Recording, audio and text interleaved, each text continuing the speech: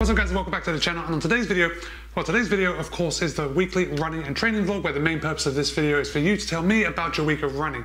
I want to hear about your successes, I definitely want to hear about those setbacks.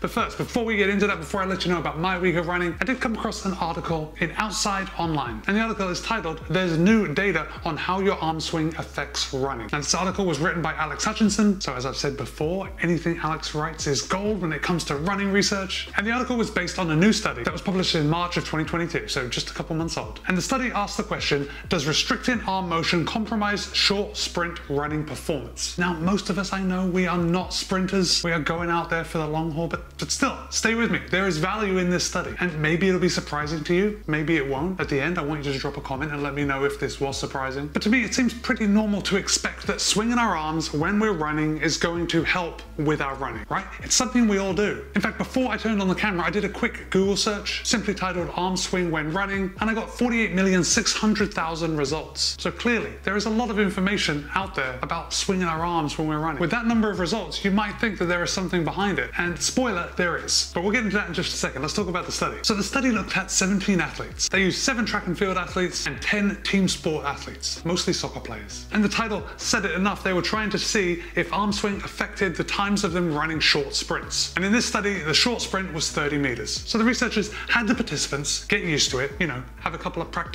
runs because it is not normal to run with your arms not moving. And after they had got used to it, they went out and they ran six 30 meter sprints, three with the arms in just free motion and three with restricted arms. And because they used athletes from different sports, so we've got the track and field and then we've got the team sport athletes, to measure the track and field athletes, they had them start in the blocks when they were able to move their arms normally. The athletes were told to cross their arms across their chest and kind of hold onto their shoulders, and that's how they got the restricted arm movement part of the experiment. So the track and field athletes, they were allowed to start in the blocks like they normally would on a race, but when they had their restricted arm movements, they built up blocks, and they had the athletes kind of lean over and rest their elbows on the blocks. And obviously that was to mimic the starting position that they're used to when they're doing their normal track events. With the team sport athletes, it was a little different. They don't start in blocks when they're running around. So for the team sport athletes, they did a standing start. Obviously the normal arm swing is just going to be standing there and then starting running. And then they did the same runs again with their arms across their chest, kind of holding onto their shoulders to restrict their arm movement. The results were surprising. But first,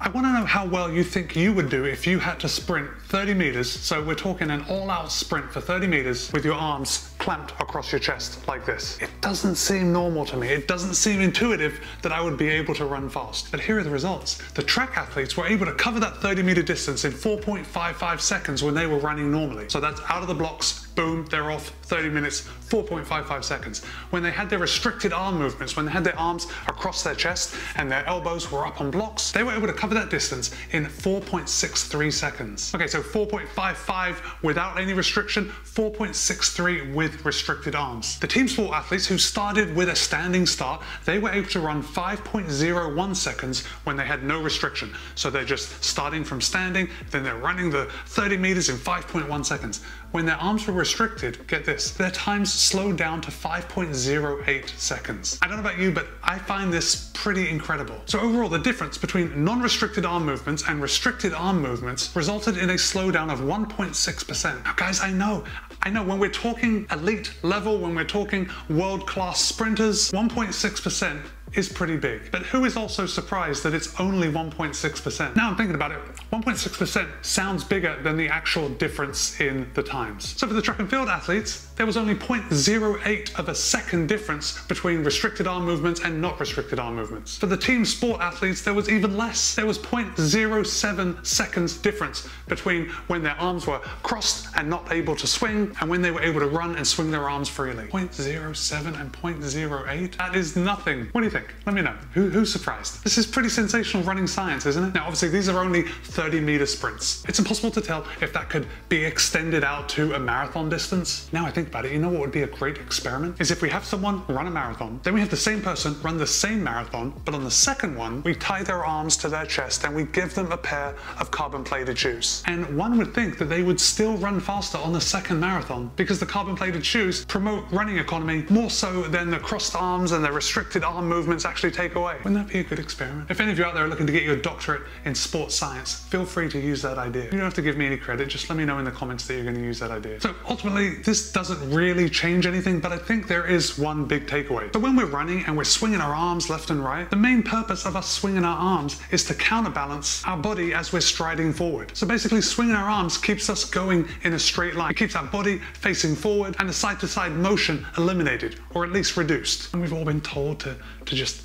to run with our arms facing forward and our, and our, hands shouldn't come across the center line, right? And that advice probably stems from when our arms come across our center line, it's going to rotate our body just a little too much. So we've established that our arm swings kind of counterbalance our body as we're moving forward. Well, the experiment showed that when the athletes had their arms restricted, their whole torso would move back and forth a lot more. And that increased torso movement actually replaced the arm swing as far as counterbalancing the body. Now, this is the main downside as far as taking this data from a 30 minute sprint and then extrapolating it out to longer distances. Because it seems to me that 30 meters is quite a short amount of distance to run. Whereas you and I, and we go out and we run for several kilometers a time, while the running economy may not be reduced that much in the short term, it seems like it would increase exponentially as time goes on. So in a 30 minute sprint, we're not using that much energy. So the increase in energy expenditure from having restricted arm movements is, is negligible. But if you go out and you run for an hour, I'd have to say that it would get pretty tiring pretty quickly if you had to have restricted arm movements. The main takeaway that I'm taking from this article is that if your arm swing is not precise, if you don't look like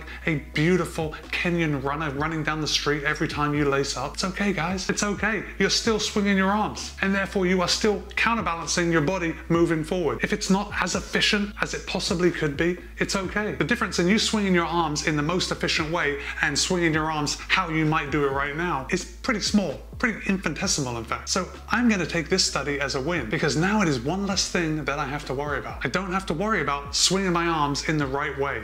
I can just run without giving that part of my running any more thought. Come to think of it, it's almost like the difference between heel striking and forefoot striking and if you're trying to change to do one from the other, well, no one would change from a forefoot strike to a heel strike. But the point is, is that some of us are made to run a certain way. Some of us are meant to heel strike. Some of us find it a lot more natural to swing our arms less than others. But I want you to take comfort in that you are doing the best you can do. And if you are comfortable in the running stride that you have, just know that changing it probably isn't worth the hassle. You're not going to be getting these huge gains from making these changes that are possibly going to make you more tired. And with that positive note from science, thank you science, I had a great week of running.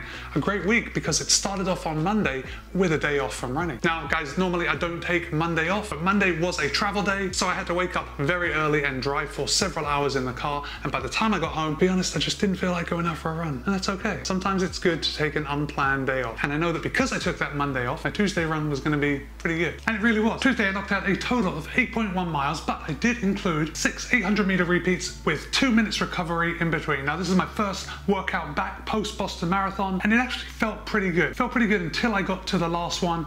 Then I really noticed that my legs were getting a bit tired, a bit heavy. And Wednesday, Wednesday was the only day off I had, so I had a little extra time in the morning and I ran a little bit further. I knocked out a total of 13.1 miles, but I did it in two runs. I did a 10 mile run, then I did a 3.1 mile run or a 5K run just to get some extra YouTube filming in. And even though I did separate it into two runs, they were back to back. Like I came home, I changed my shoes, I went out again. Thursday was another workout day. I knocked out 11 miles total, but during those 11 miles, I did five miles at tempo pace and I was testing a pair of shoes and you'll probably see that review coming later in the week. And then after Thursday's workout, the rest of the week were pretty much easy runs. Friday was 7.2 miles, very easy. Saturday was 7.6 miles, very easy. Sunday was 7.7 miles, very easy, but this time I did run over to the mall and I ran up and down the car park in the mall. And that brought my week's total to 54.78 miles, which is around 88 kilometers. So pretty good week. I have been feeling a bit tired this week. Not sleepy tired, just like tired of running. My legs have been feeling really heavy and I'm sure that is just some residual fatigue from the Boston Marathon a couple of weeks ago. Alright guys, don't forget to let me know about your week of running, successes and setbacks. Thanks for staying all the way to the end of the video. Be kind, be happy, run well. I'll see you in a couple of days.